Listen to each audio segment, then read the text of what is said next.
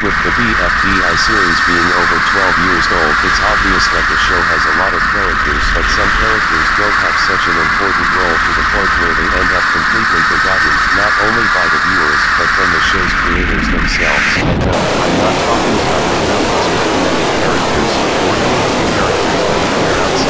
like in Twitter. This video is dedicated to fairly major characters in the show's lifespan, that might not be very memorable to most BFDI fans. If you enjoy this video and would like to see more videos like this and more, click the like and subscribe buttons, and hit bell to get notified when I upload new videos.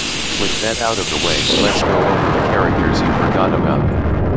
The first BFDI episode surprisingly contains 9